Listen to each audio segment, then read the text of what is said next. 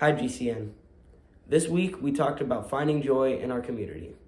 Finding joy in our community and bringing our community together is a huge factor in spreading the love of God to others. I felt supported by my um, my small group at teen camp last year because not only were they just like a supportive group to be with, and not only were they just praying for me, but they were just fun to be with as a whole.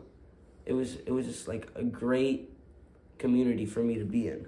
Being with them just made me joyful overall. And lastly, we're challenged to embrace community. We can do that by inviting friends to youth group or even Sunday service. We can also find mentors um, to help guide us and to help guide our friends. Thank you, GCN, and Merry Christmas.